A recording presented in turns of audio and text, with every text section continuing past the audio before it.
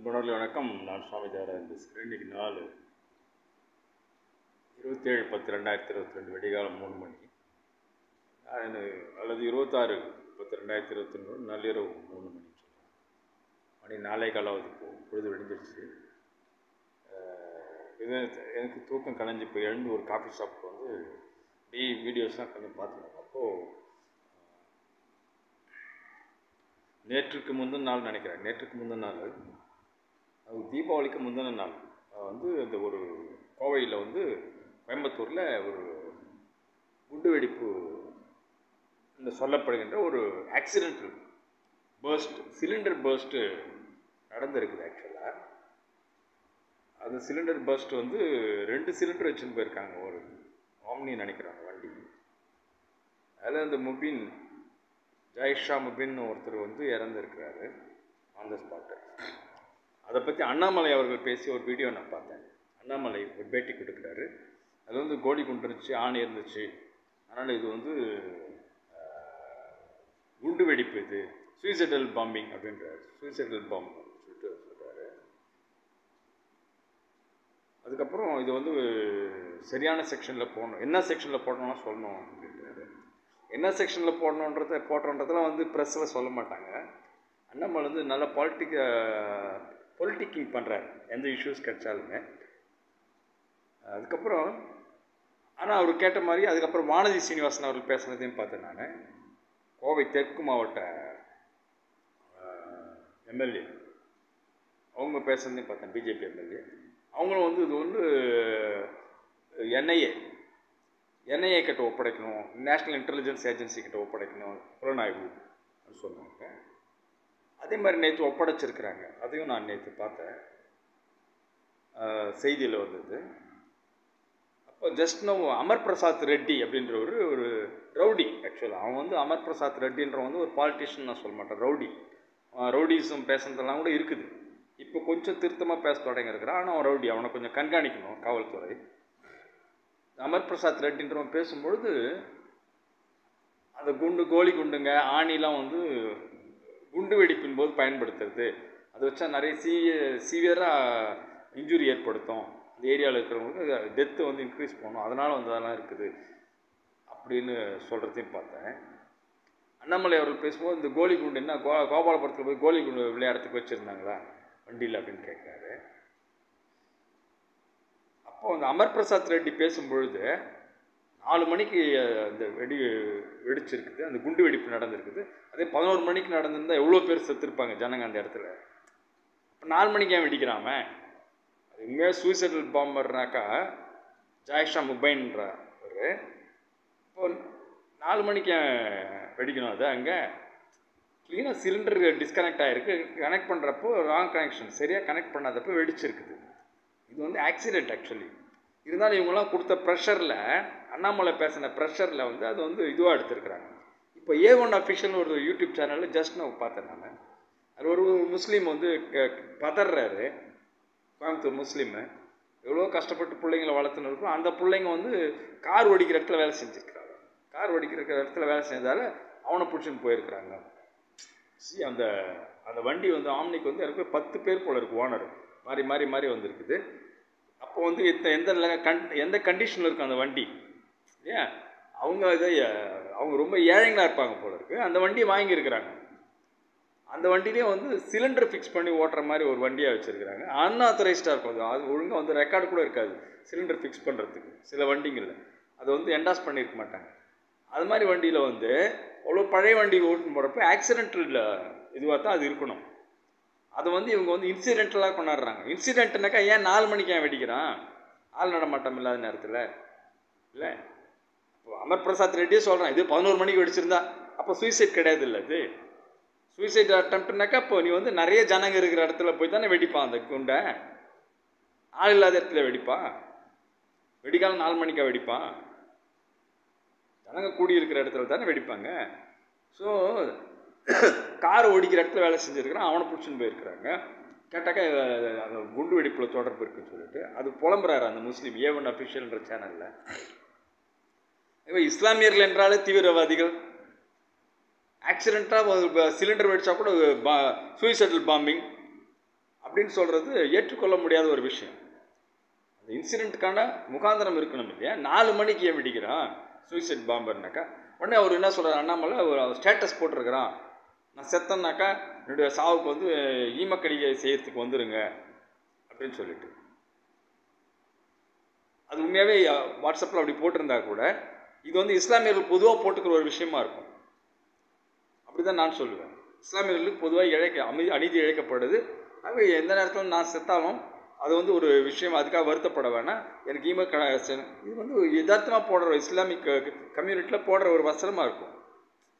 ஜிஹாத் என்பது அவங்க கட்டாயமாக செய்கிறாங்க அவங்க மதத்துக்கு எதிராக யார் என்ன பண்ணாலும் அவங்க கட்டாயமாக எதிர்த்து போராடுறாங்க. ஏன்னா அது சிறுபான்மை மதம்.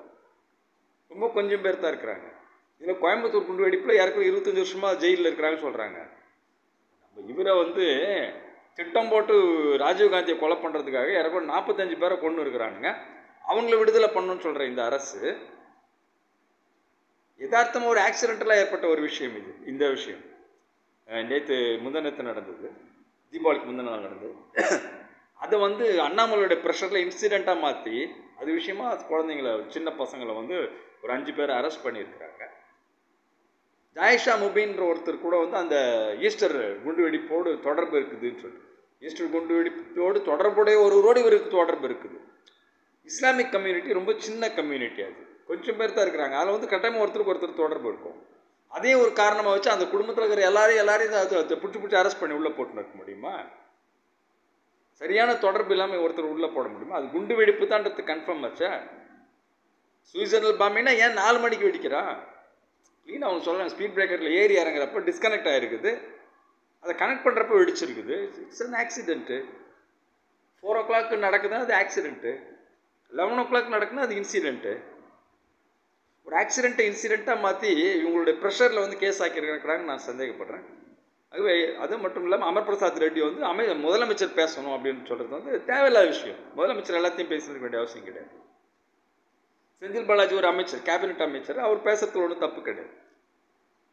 அவருக்கு வந்து லிக்கர் விற்கிற துறை இருந்தாக்கா அதுக்காக சாராய அமைச்சர்னு சொல்கிறது வந்து கொச்சைப்படுத்தி பேசுறது. நான் முந்தினத்து நான் இங்கே ஒரு தூவக்கொடியில் இந்த டோல் பிளாசாவாண்ட பஸ்ஸுக்கு வெயிட் பண்ணுறப்போ ஒரு பக்கத்தில் ஒருத்தர் தண்ணி அடிச்சுட்டு வந்து உட்காந்துருந்தார் அப்போ அவர்கிட்ட பேசியிருந்தேன். அவர் பாக்கெட்டில் ஒரு பாட்டில் வச்சுருக்கிறார். என்னங்க இப்படி தண்ணி அடிக்கிறீங்க? என்ன சார் பண்ணுறது உடம்பு வலி. நாங்கள் பண்ணுற வேலை அது மாதிரி இல்லை கொத்தனார் வேலை எனக்கு. அதெல்லாம் குனிஞ்சு நிமிஞ்சு வேலை செய்கிறது இது கொஞ்சம் சாப்பிட்டா தான் கொஞ்சம் இதுவாக இருக்குது எல்லா மருந்துலையுமே ஆல்கஹால் கலந்துருக்குறாங்க. தெரியுமா? Two percent to three percent எல்லா மருந்துகளையுமே ஆல்கஹால் கலந்துருக்கு. ஏன்னா பாடி பெயினை குறைக்கிறதுக்காக. அதுதான் ஃபிசிக்கலாக வந்து நிறைய ஒர்க் பண்ணுறவங்க சாப்பிட்றாங்க. ஸோ அதனால் வந்து அதனால தான் கவர்மெண்ட் வந்து அதை விற்குது கவர்மெண்ட்டே எடுத்து விற்குது எரி சாராயத்தில் நிறைய பேர் செத்து போகிறாங்க எத்தில் ஆல்கஹால் குடிக்கிறதுக்கு பதிலாக மெத்தில் ஆல்கஹால் குடிச்சிடுறாங்க. மெத்தனால் குடிச்சு செத்து போகிறாங்கன்றதால தான் கவர்மெண்ட்டே வந்து அது பியூரிஃபைடாக நீட்டாக கொடுக்கணும் ஜனங்களுக்கு. அது குடிக்கிறவங்க குடிக்கட்டும். அது ஒன்றும் மாற்றிட முடியாது. தேவலோகத்து இந்திரலோகத்தில் சோம சோமபானம் சுறாபானம் குடிக்கிறாங்கன்றாங்க. குடிக்கிறது வந்து ஒரு பெரிய குற்றம் ஆகிடாது கவர்மெண்ட்டை ஆத்தரைஸ் பண்ணியிருக்குது. அப்படி இருக்கும் பொழுது என்னத்துக்கு எங்கேயோ போய் எங்கேயோ வந்துட்டேன். அது அதை விற்கிறது அதை டாஸ்மாக்ன்ற ஒரு கவர்மெண்ட் கார்பரேஷன் கார்பரேஷனில் தமிழ்நாடு மார்க்கெட்டிங் கார்பரேஷனில் வச்சு அதை விற்கிறாங்கன்றது வந்து அதை ஒழுங்காக நீட்டாக பண்ணணும். அந்த பாலையை கூட யார் யாரோ எது எதோ பண்ணிட்டாக்க இப்போ அதை வெறும் லைசன்ஸ் பண்ணி கொடுத்து விட்டோம்னாக்கா அவன் எது எது கொண்டாந்து விற்றுருவான் கவர்மெண்ட் எடுத்து பண்ணுது. ஜெயலலிதா அம்மையார் காலத்துலேருந்து. கவர்மெண்ட் சாராயம் வைக்கிறது நானும் எதிர்க்கிறேன். எனக்கும் பிடிக்காது. டாஸ்மாக் கடைகள் எனக்கும் பிடிக்காது. அது மக்கள் இருக்கிற இடத்துல இருக்கக்கூடாதுன்றது அதெல்லாம் கரெக்டு அதனால தான் அது தேவைப்படுறவங்க இருக்கிறாங்களே.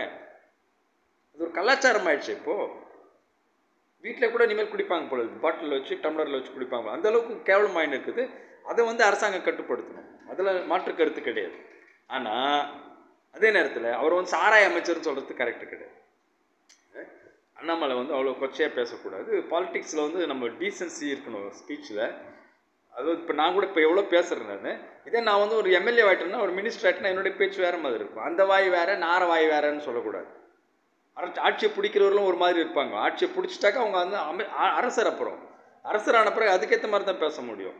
அப்போ எதிர்கட்சி தலைவர் மாதிரி பேசின்னு இருக்க முடியாது. எதிர்கட்சி தலைவர்ன்றதால அரசியல் பண்ணின்னு இருக்கக்கூடாது இன்சிடென்ட்லாம் ஆக்சிடென்ட் ஆக்சிடென்டெல்லாம் இன்சிடென்ட் ஆக்கின்னு இருக்கக்கூடாது திரு அண்ணாமலை அவர்கள். அதே இது இந்த விஷயத்தில் வந்து இதை கரெக்டாக இன்வெஸ்டிகேட் பண்ணும் இப்போ டிஜிபி அங்கே போகிறது எனக்கு ஆச்சரியமாக இருந்துச்சு. உடனே டிஜிபி அங்கே போயிட்டார். நியூஸில் பார்த்தா அன்னைக்கு. ஸோ டிஜிபியே அங்கே போகணுன்ற அவசியம் கிடையாது. இது டிஜிபி அங்கே போயிருக்கிறாருன்னு என்ன அர்த்தம்? இது இன்டெலிஜென்ஸ் ரிப்போர்ட் கிடச்சிருக்குது. அது வந்து குண்டு வெடி பார்க்கலாம் சொல்லிட்டு நீங்கள் போய் இன்வெஸ்டிகேட் பண்ண சொல்லி தான் முதலமைச்சர் வந்து அவர் அனுப்பியிருக்கார். ஹோம் மினிஸ்டராக இருக்கிறதால எம் கே ஸ்டாலின் அவர்கள். அவன் போய் பாருயான்னு சொல்லியிருக்காரு. ஸோ அவரும் போய் உடனே அங்கே போய் டிஜிபியே போய் உட்காந்து பார்த்துருக்காரு. ஹெட் ஆஃப் த டிபார்ட்மெண்ட்டே போய் பார்த்துருக்குறாரு. அவர் பார்த்து அவர் இன்வெஸ்டிகேஷன் ஸ்டேட் பை ஸ்டேஜ் கொடுத்துன்னு இருக்கிறார் என்ன நடக்குதுன்னு சொல்லிட்டு. அவங்களுக்கு சந்தேகத்துக்கு ஏற்ற மாதிரி கேஸை போடுறாங்க. அதுக்கேற்ற ஆளுங்களை பிடிக்கிறாங்க. ஸோ இதுதான் நடந்தது. ஆகவே மாண்புமிகு தமிழக முதல்வர் அவர்களுக்கும் மரியாதைக்குரிய காவல்துறை தலை துறை தலைவர் அவர்களுக்கும் வணக்கம். ஆகவே நான் கேட்டு கேட்டுக்கிறது என்னன்னாக்கா இவங்க கொடுக்குற ப்ரெஷருக்கு அண்ணாமலை கொடுக்குற ப்ரெஷர் அமர் பிரசாத் ரெட்டின்ற ரவுடி கொடுக்குற ப்ரெஷர் ப்ரெஷர்ஸுக்கு வானதி சீனிவாசன் எம்எல்ஏ கொடுக்குற ப்ரெஷருக்கெல்லாம் வந்து ஈல்டாகி அப்பாவி இளைஞர்களை வந்து கைது செய்து சிறையில் அடைச்சிடக்கூடாது. ஏற்கனவே கோயம்புத்தூர் குண்டு வெடிப்பிலே வந்து நிறைய பேர் சம்மந்தம் இல்லாதவங்களாம் கூட சிறையில் இருக்காங்க போது அதெல்லாம் கண்டுபிடிச்சி அவங்களும் விடுதலை செய்ய வேண்டும். உண்மையான குற்றவாளிகளுக்கு மட்டும்தான் தண்டனை கிடைக்க வேண்டும். இதுதான் இந்தியனுடைய இந்திய இந்தியன் கான்ஸ்டியூஷனில் வந்து முக்கியமான ஒரு விஷயமே சட்டத்துறையை பொறுத்த வரைக்கும் நீதிமன்றத்தில் எல்லாத்துலேயுமே போட்டிருக்கும் பாருங்கள் நீதிமன்ற நீதி தேவதை கண்களை கட்டிட்டு இருக்கும். யார் என்னன்னு பார்க்காம நீதி கொடுக்கணுன்றது தான் அதனுடைய அடையாளம். அது மட்டும் இல்லை அதே நேரத்தில் வந்து நூறு குற்றவாளிகள் தப்பிச்சிடலாம். ஆனால் ஒரு நிரபராதி தண்டிக்கப்படக்கூடாது அப்படின்றது தான் மிக முக்கியம். அதனால தான் சந்தேகத்தினுடைய அட்வான்டேஜை வந்து குற்ற குற்றம் சாட்டப்பட்டவருக்கு கொடுத்து அவர் விடுவிப்பாங்க. ஒரே ஒரு துளி சந்தேகம் இருந்தால் கூட இவங்க குற்றம் செய்யலை அப்படின்னு தெரிஞ்சிட்டாக்கா அவர் தண்டிக்கக்கூடாது அப்படின்றது தான் அதுவே சம்மந்தம் இல்லாதவர்களையெல்லாம் சந்தேகத்துக்குரிய விஷயத்துலலாம் எல்லாரையும் கைது செய்து கஷ்டப்படுத்த வேண்டாம். மாறாக இவங்க கொடுத்த ப்ரெஷருக்கெல்லாம் ஈல்டாக ஏதாவது பண்ணின்னு இருக்க வேண்டாம். எது உங்கள் உங்கள் உங்களுடைய அறிவுப்படி உங்களுடைய மனசாட்சிப்படி எது சரின்னு தெரியுதோ அதை தான் செய்யணும் டிஜிபியாக இருந்தாலும் சரி முதலமைச்சராக ஹோம் மினிஸ்டராக இருந்தாலும் சரி. தேவையில்லாமல் யாரையுமே அரெஸ்ட் பண்ணக்கூடாது தேவையில்லாமல் யாரையும் கஷ்டப்படுத்தக்கூடாது. சந்தேகத்தின் பேரில் அரெஸ்ட் பண்ணாலும் அதுக்குரிய விதத்தில் நடத்த வேண்டும் என்று கண்ணியத்தோடு நடத்த வேண்டும் என்று அன்போடு கேட்டுக்கொள்கிறேன். நன்றி வணக்கம். ஆக இஸ்லாமியர்கள் மீது இஸ்லாமியர்கள் மீது குறி வைத்து தாக்குவது இஸ்லாமியர்களை மட்டுமே பிடித்து கஷ்டப்படுத்துவது இதெல்லாம் சரியில்லை. இன்சிடெண்ட்டாக ஆக்சிடெண்ட்டாக அதனுடைய ஆப்ஜெக்டிவ் என்ன? ஒரு ஒரு இன்சிடெண்ட்னாக்கா அதனுடைய ஆப்ஜெக்டிவ் என்ன? இதெல்லாம் கரெக்டாக பொருந்தினா மட்டும்தான் அது வந்து அதுக்குரிய விஷயத்தில் அதுக்குரிய ஆங்கிளில் அதுக்குரிய சிவியாரிட்டியோடு தான் அதை அணுக வேண்டும் என்று அன்போடு கேட்டுக்கொள்கிறேன். தேவையில்லாமல் இந்துத்துவவாதிகளான அமர் பிரசாத் ரெட்டி போன்றவர்களுக்காக வானதி சீனிவாசன் போன்றவர்களுக்காக அண்ணாமலை போன்றவர்களுக்காக இந்துத்துவா என்பதை மட்டுமே கையில் எடுத்துக்கொண்டு அதில் பாஜ பிஜேபி என்ற கட்சியை சோ- சேர்த்துக்கொண்டு முஸ்லீம்களை குறிவைத்து தாக்குகின்ற இத்த இத்தகைய இந்துத்துவவாதிகளுக்காக அப்பாவிகளை வந்து கஷ்டப்படுத்தக்கூடாது. உண்மையாகவே அதில் எவிடன்ஸ் இருந்தாக்கா உண்மையாகவே அதில் சஸ்பெக்ஷன் இருந்தாக்கா சஸ்பிஷன் இருந்ததுனாக்கா நீங்கள் அதை வந்து அந்த ஆங்கிளில் பார்க்கணும். மற்றபடி இவங்க கொடுக்குற ப்ரெஷருக்கு ஈல்ட் ஆகக்கூடாது என்று மாண்புமிகு தமிழக முதல்வர் அவர்களையும் அவங்க உள்துறை அமைச்சர் எம் கே ஸ்டாலின் அவர்களையும் திரு டிஜிபி சைலேந்திர அவர்களையும் அன்போடு கேட்டுக்கொள்கிறேன். என்னை பொறுத்தவரையிலும் தமிழ்நாடு அரசு எல்லா வகையிலும் கரெக்டாக போயின்னு இருக்குது தான் நான் பெருமைப்படுகிறேன். எனக்கு வந்து எனக்கு சஸ்பெண்ட் பண்ணியிருக்காங்க. எனக்கு வந்து ப்ரொமோஷன்லாம் பண்ணியிருக்கிறாங்க. எனக்கு வந்து சப்ஸ சப்சிஸ்டன்ஸ் அலவன்ஸ் இருபத்தஞ்சி பர்சன்ட் குறைச்சிருக்கிறாங்க. இதெல்லாம் நான் எதிர்க்கிறேன். ஆனால் தமிழ்நாட்டு அரசனுடைய செயல்பாடுகள் வந்து as of as a common man பார்க்கும் பொழுது திரு எம் கே ஸ்டாலின் அவர் பதவியேற்ற நாள்லேருந்து இன்னைக்கு வரைக்கும் எல்லாமே கரெக்டாக போயினது. ஆகவே திரு எம் கே ஸ்டாலின் அவருக்கும் திரு டிஜிபி சைலேந்திர பாபு அவர்களுக்கும் இந்த கேஸில் துரிதமாக செயல்பட்ட அனைத்து காவல்துறை அதிகாரிகளுக்கும் காவல்துறை கான்ஸ்டபிள் முதற்கொண்டு டிஜிபி வரைக்கும் இருக்கக்கூடிய அத்தனை பேருக்கும் வாழ்த்துக்கள். இவர் வந்து அமர் பிரசாத் ரெட்டி என்ன கேட்குறான் என்ன கேட்குறான் ஏன் டிஜிபி வந்து பேசுகிறாரு டிஜிபி கமிஷனருக்குலாம் பவர் இருக்குது பேசுறது ஹெட் ஆஃப் த டிபார்ட்மெண்ட்டு அவங்க பொசிஷனுக்கு அவங்க பேசலாம். அவங்க பேசுறது தப்பாக இருந்தாக்கா கவர்மெண்ட் வந்து அவங்க மேலே ஆக்ஷன் எடுக்கும். நான் கூட ப்ரெஸ்ஸில் ப்ரெஸ் மீட் கொடுத்தேன்னு சொல்லிட்டு டிவியில் பேச சொல்லிட்டு மேலே சார்ஜ் இருக்குது. ஸ்டே வாங்கியிருக்கிறேன். ஆனால் சார்ஜ் இருக்குது. ஏன்னா நான் இப்போ வந்து E level executive engineer E லெவலில் வந்து பேசக்கூடாது. எனக்கு சார்ஜ் ஃப்ரேம் பண்ணாங்க? டிஜிபி பேசலாம். அவருக்கு அதிகாரம் இருக்குது. அவர் பேசுகிறாரு எல்லாத்துக்குமே முதலமைச்சரை வந்து பேசணுன்ற அவசியம் கிடையாது. அது துறை சார்ந்த விஷயம். தொழில்நுட்பம் சார்ந்த விஷயம். அதில் அமைச்சருக்கும் முதலமைச்சருக்கும் அவ்வளோ தெரியாது. ஆகவே இவங்க தான் பேசுவாங்க. இவங்க கொடுக்குற ஃபீடிங் வச்சு பின்னாடி வேணா அமைச்சர் பேசலாம் முதலமைச்சர் பேசலாம். இப்போ அமர் பிரசாத் இவ்வளோ பேசுறது எதை வச்சு? அண்ணாமலை ஃபார்மர் ஐபிஎஸ் ஆஃபீஸராக இருந்ததால் தான். ஐபிஎஸ் ஆஃபீஸர் இருந்தாலும் சில விஷயங்கள் தெரியும். அதை சொல்கிறதால அதை வச்சு நீ அமர் பிரசாத் ரெட்டி ஒரு பேப்பர் வச்சு படிச்சுங்கிறான் ஆகவே துறை சார்ந்தவர்கள் தான் துறை சார்ந்த தொழில்நுட்பம் சார்ந்த விஷயங்கள் வந்து பேசுவாங்க. ஹெட் ஆஃப் த டிபார்ட்மெண்ட் தான் பேசினார். அதில் ஒரு தப்பும் கிடையாது. எல்லாத்துக்கும் முதலமைச்சரும் அமைச்சரும் கன்சர்ன் அமைச்சரும் வந்து பேசணுன்ற அவசியம் கிடையாது. அதுவும் வந்து முழுசாக விஷயம் தெரியறதுக்கு முன்னாடி பேச வேண்டிய அவசியம் கிடையாது. எல்லாம் தெரிஞ்ச பிறகு தான் அவங்க பேசுவாங்க. முற்றும் எல்லாம் என்ன தான் நடந்ததுன்னு தெரிஞ்சது அவங்க பேசுவாங்க. மற்றபடி துறை சார்ந்த வல்லுநர்கள் வந்து அந்தந்த நேரத்தில் ஃபீடிங் கொடுக்கலாம். அவ்வளோதான் அவங்க கொடுக்குற ஃபீடிங் கவர்மெண்ட்டோட ஆப்ஜெக்டிவ்க்கு எதிராக இருந்தாக்கா கட்டாயமாக அவங்க மேலே நடவடிக்கை எடுப்பாங்க. இவங்க கமிஷனரும் டிஜிபியும் பேசுறது கவர்மெண்ட்டுக்கு சாதகமாக இருக்குது. அதனால் அவங்க அமைதியாக இருக்கிறாங்க. அமைச்சர் பேசலை முதலமைச்சர் பேசல. அவ்வளோதான் அந்த கன்சர்ன்டு தொகுதியினுடைய பொறுப்பு அமைச்சர் செந்தில் பாலாஜி அவர்கள் பேசியிருக்கிறாங்க. செந்தில் பாலாஜி மேலே ஊழல் குற்றச்சாட்டு இருக்குது அவர் அமைச்சராக்குன்னு எனக்கு பிடிக்காது. ஆனால் இப்போ அமைச்சர் அவர் கரெக்டாக செயல்பட்டு போது அவர் எப்படி குறை சொல்ல முடியும்? அதுக்கான வழக்குகள் தனியாக இருக்குது ஊழல் வழக்குகள். அது வேறு. அதை இதையும் லிங்க் பண்ண முடியாது. இப்போ செயல்படுறது கரெக்டாக இருக்கா? இது ஓகே. அவ்வளோதான் அவரை பாராட்டணும். அது திரு செந்தில் பாலாஜி அவர்களுக்கும் பாராட்டுக்கள் திரு சைலேந்திர பாபு அவர்களுக்கும் பாராட்டுகள் எம் கே ஸ்டாலின் அவர்களுக்கும் பாராட்டுகள் இஸ்லாமியர்கள் மீது குறிவைத்து தாக்க வேண்டாம் என்று அன்போடு கேட்டுக்கொள்கிறேன். நன்றி வணக்கம். இதில் கைது செய்யப்பட்ட இஸ்லாமிய இளைஞர்கள் வந்து அவங்க மேலே அது உண்மையான வந்து ஈடுபாடு அதில் இல்லைனாக்கா எப்போ அது இன்சிடென்ட்னு தெரியுதோ இமீடியட்டாக அவங்களை ரிலீஸ் பண்ண நண்போடு கேட்டுக்கொள்கிறேன். நன்றி வணக்கம். ஷிவ் ஓம்.